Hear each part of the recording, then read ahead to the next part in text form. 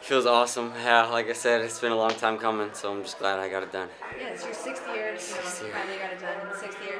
Take us through your match. You know, you got that one takedown was the was the difference maker in that. that hard for the third period. Yeah, for sure. I mean, I've been working with my co with Coach Kiskin all year, just on top, bottom, just on you know focus on riding people out. So I know if I'm if I'm working with him, you know I can ride anybody out. So that's just what it came down to.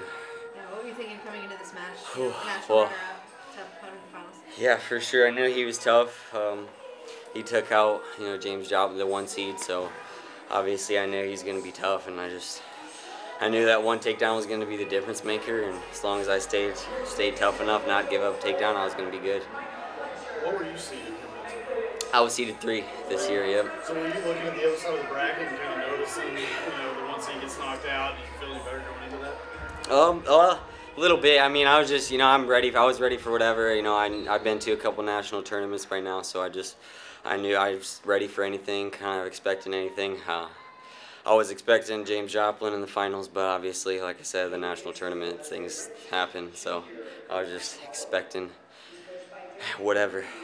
So, uh, big crowd of your, your team right there meeting you at the What, what, talk about what they've meant to you, what they've been. Man, this team, this is my favorite team that I've been a part of in the past six years. So, yeah, I could get emotional, you know, but it's just awesome. Those guys mean a lot to me, so I'm just really glad I got to get it done for them. Congratulations. Thank you. Thank you. Appreciate it.